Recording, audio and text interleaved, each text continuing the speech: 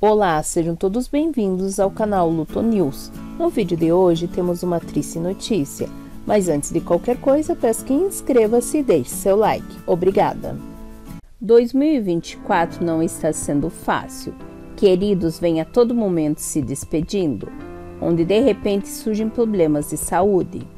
Desta vez, um querido nome do meio do futebol que vem a deixar os seus familiares de luto. Segundo informações, o querido jogador havia passado mal, onde foi levado para um hospital. Ele, que se encontrava muito debilitado, infelizmente durante o internamento não resistiu.